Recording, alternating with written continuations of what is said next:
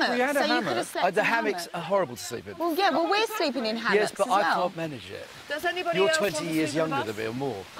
Well, you shouldn't be so rude. I just think David hasn't got um, morals, really. I'm just saying to him that in four days, two days, or tomorrow, if someone else, whether it's me or one of the sure, other group of sure, ten, sure. want to sleep there, Sure. can Well, you you be gonna open-minded about it? will That's what I don't get that. Why, We will if say- somebody's got a comfortable bed, are they going to give their bed up for somebody who's, who wants to sleep there? Well, yeah, other people have. They have. Well, Other people me. have. Nothing for me, they haven't. Yeah, Well, it has Joe. that bed. Joe was down in I the slept cave tonight in instead the of you. Cave. Yeah, Joe yeah, went I did down my there. bit. But it doesn't matter. I've said what I've said. He disagrees. I'm allowed to disagree. It's not that big a deal. Let's No one it. said you wasn't. What's wrong with you? Like, you're really bizarre. Like, as soon as someone says something, you think everyone's directing it it. at He's you. not pointing you Not everyone. Not Like, everyone. No, let's get this right. Not everyone. I haven't said anything to you. What are you doing now? Why are you going on about it? Because you are. You're muttering it under I'm your not. breath. I'm not much And you about two are giggling together, so I'll say what I want to say. We're not allowed to giggle together now. You're just, a, do you know it- what? You've got the mental giggle age of an eight-year-old. You are the perfect example of why you shouldn't do what you did in your heyday. Seriously. It's bizarre. Absolutely bizarre. Nicola got very personal over the bus. Ooh, when Nicola gets a bee in her bonnet, wow, she gets a bee in her bonnet, and it really stings. Ooch. On, on whatever criteria, you, you have the option of going on the bus, and if you want to go on the bus, you should go on the bus. Thank you, Brian. Well, that's sorted. Whatever, let him think he's got his way because at the end of the day, if I wanted the bus, I would have been on the bus. No question. Happy birthday, by the way. Yes, and to you, sweetie. and to you. What a happy birthday I'm having. This is turning into a bit of a drama. With me, it seems sometimes as the lead villain. But I think you'll find eventually the real villain of the piece will be unmasked. Isn't it lovely up here? It's sheer luxury to ride Oh, well, you, you have the I'm on this side. You have the. Uh, the uh, Well, the- would you like to swap now? No, no, no, to it's the all dry right. side? Because I've- I'm I've used to getting water on me in the evening, you I, see. I'm, I'm used to this now too. So Fantastic. it's So I'm now living in a penthouse. You have the protected penthouse. side The with- luxury penthouse. Here I am. And I'm on this bed, am I? you're on this bed. And that's the better bed, is it? You know, we're in flux now. Um, people are moving out constantly.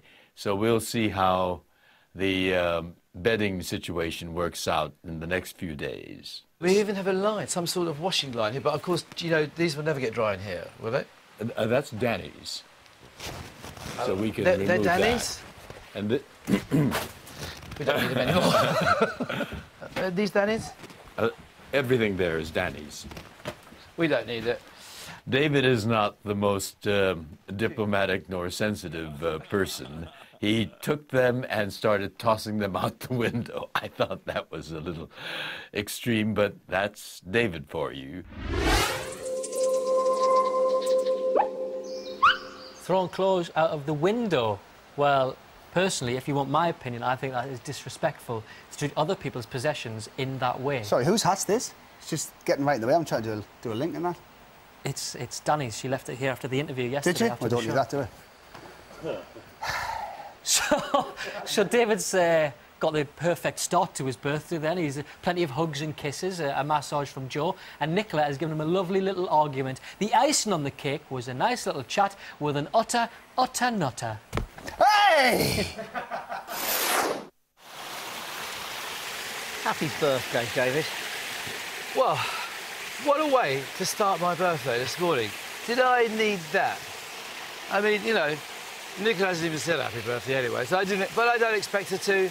I don't expect her to have any generosity of spirit in times like this. That's even before the argument started, she hasn't even spoken to me. I can't open my mouth, not even on my birthday, without Carly or Nicola saying something. David, it's extraordinary. It's extraordinary how it goes ping. Well, it doesn't have to go ping. They all, all they had to do is be quiet, like everybody else. Nobody else put their oar in. If you notice, it was just Kylie and Nicola and Brian who did his peacemaking policeman duties. Yes. Nicola got involved and um, had a go at David, which was not really appropriate, was it? Sorry, Nicola. Shouldn't have said that. and then she got all personal. I never said anything about her career or her boobs. I never said anything. I don't even look at her. Don't you look I'm at not, them? No, I'm not interested. Are you joking? We look at that, we'd be accused of being lectures, all sorts of stuff. No, not interested. I didn't say look at them Well, with I- interest. I, I meant, you know, in Well, a sense, you can't okay. quite ignore them. Well, sometimes you can't. You, you, it's true. You go. I think uh, somebody once said it's not the first look when you look at a woman. It's your second look. It's the lusty look, the double tap. so I don't do that. It's a good start to have a great body, no doubt about it. But unless it's coming from the soul, I'm not interested. Soul is everything, isn't it, David? Got to be. You know, one day those fade and deflate. They won't always be that big, will they? Should have them out. I don't think they're that sexy, to be honest. I like natural boobs. What's wrong with natural boobs? I'd rather not have all this aggravation, but they started it today. And why should I have to put up with that? I mean, you know, I think there's a couple of men here been complete wimps. You know, I've been in groups with girls all my life. I went to a stage school with 200 girls with 20 boys. I was in Guys and Dolls, three girls. I was in Bucks Fizz, two girls. I was in Dollar. I've always had girls around in the act. And a lot of the time, I've always had to manage it as well. And I know that girls, if you give them a rope, they'll take the lot. You give them an inch, they'll take a mile. And, and, and that's it, you know. Before we got in, they must have been ruling this roost. It was the women ruling the roost. And because of that, they're finding it very, very hard to give up. That old saying, if you give them a rope, they'll take a rope. They just take the rope. Uh, but there you go. David has been surrounded by women his whole life uh, at stage school, in, in Guys and Dolls, in Bucks Fizz, in Dollar. And if there's one thing David Van Day knows about women, it's how to argue with them. Yeah, he certainly does. He's got it. Now, you might have noticed that so far, Simon Webb hasn't done a Bush Tucker trial. So, yesterday, when the time came, he took a deep breath, stood up in front of the whole group, and read out the instructions for the trial. Today's trial is called Carnage. Carnage. Carnage. One celebrity will be taking part in the trial. One. One. Uh-huh. So hands up who would like to do it. So The- the then that hadn't done got a hand up and we all agreed that Martina, I think. Yeah. I think Martina, Martina, Martina, I would love takes you to do it precedence. as well. Everybody voted for Martina to do the trial. Um, I think she's been going stir crazy and wanting to do one. It's got to be Martina. Martina.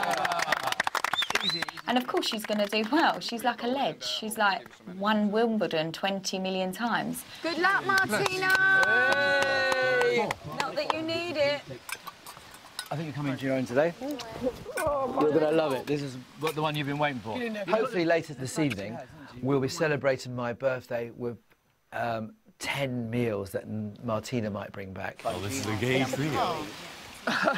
Oh, it is, isn't it? I didn't think about that. We've been here for two weeks, our four, day 14 now, so I'm definitely ready. So this is probably, hopefully, up my alley, and I hope to bring a lot of food into the camp tonight.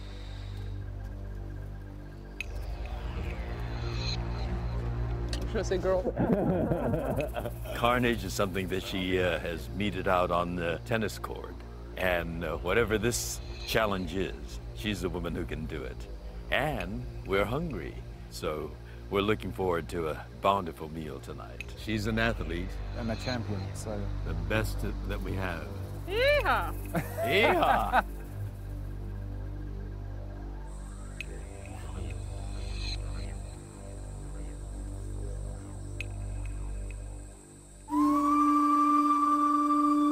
Good morning. Good morning. How are you? Excellent. Nice to see you.